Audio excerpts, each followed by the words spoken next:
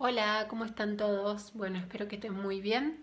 Eh, les habla Flor, la profe del taller de arte y manualidades. Eh, como todos los martes, hoy les traigo una actividad. Lo que vamos a hacer, vamos a repasar el taller de fotografía que tuvimos eh, en Apucay. Quiero ver cuántos se acuerdan. Lo que les voy a pedir va a ser que tomen una fotografía de un objeto que a ustedes les guste mucho, que lo quieran mucho, que sea especial para ustedes o que lo identifique. Van a elegir ese objeto y le van a tomar una fotografía.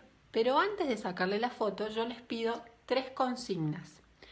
La primera es que el objeto tiene que estar muy bien iluminado. Lo pueden hacer adentro de sus casas, cerca de una ventana o pueden salir afuera. La idea es que el objeto esté muy bien iluminado, que tenga mucha luz.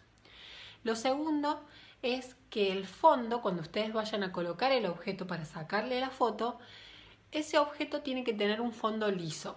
Por eso lo pueden sacar con una pared de fondo, un papel, un fondo que no distraiga, que sea bien liso.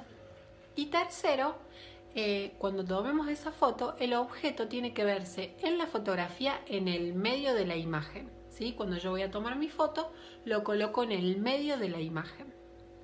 Yo ahora les voy a pasar un videito explicando más o menos cómo sería. Pueden pedirle prestado el celular a algún familiar que los ayude, pueden también tomar la foto con una tablet, con lo que tengan, ¿sí? La idea es que cuando saquen esta foto la manden al celular de Apucay, así todos la podemos ver y podemos conocer cuál es ese objeto que tanto les gusta y si quieren contarnos por qué, sería ideal. Bueno, les mando un beso a todos, los extraño, espero que estén bien. Bueno, ahora con este video les voy a enseñar cómo tienen que hacer las fotos, los voy a ayudar un poco.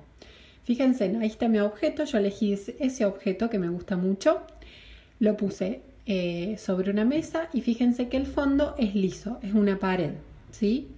Una vez que lo acomodamos al objeto, buscamos el celular o la tablet con lo que vayan a sacar la foto y recuerden poner al objeto en el medio del encuadre, en el medio de la imagen. Una vez que lo tenemos, sacamos la foto, ¿sí?